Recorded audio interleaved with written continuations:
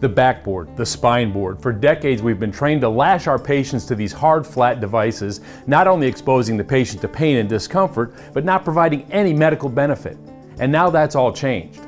No longer do we have to subject all of our patients involved in motor vehicle accidents, falls, or other traumatic incidents to the obsolete practice of full spinal immobilization using a cervical collar, backboard, and head restraint.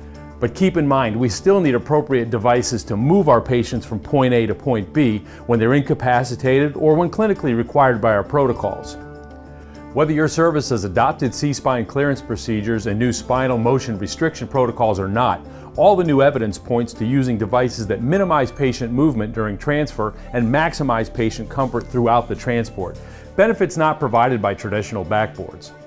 Thanks to Hartwell Medical, there's a solution to this dilemma. The Combi Carrier 2 is the perfect tool to comply with these new patient care protocols.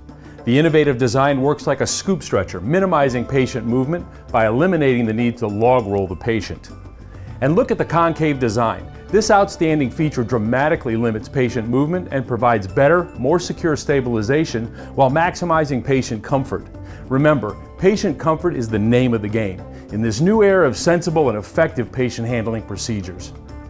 The Combi Carrier 2 can be separated into two halves, which make it perfect for handling patients that have suspected hip, pelvic, or spinal injuries, all with no risky, painful log rolling, as was the case with traditional backboards.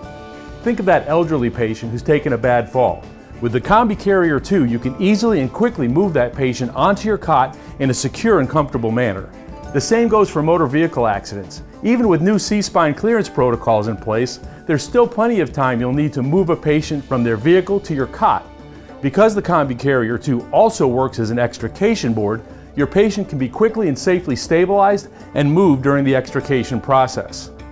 Best of all, the split litter feature allows you to easily remove the Combi Carrier 2 at any time with minimal patient movement, like once the patient's on the cot or upon transfer to the hospital bed.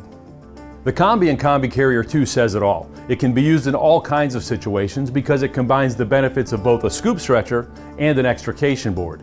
Even in extreme conditions, such as medics working in an indirect threat zone during an active violence incident, the Combi Carrier 2 can serve as a patient drag device if needed.